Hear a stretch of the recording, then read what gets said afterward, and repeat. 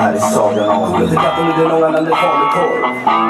Torsagan, So your last quarter final here in the boys 15 and 16. Watch out for Kristaps Vaskalis, number 305. He was very fast yesterday. And there he is once again, chased down by Verhoeven from Belgium.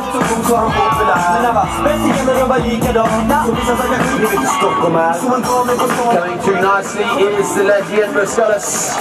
Gonna take first place, nice and smooth. Verhoeven in two, and Cartlands in three.